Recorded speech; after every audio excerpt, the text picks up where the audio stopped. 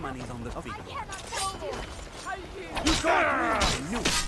That's your best, huh? You can't beat!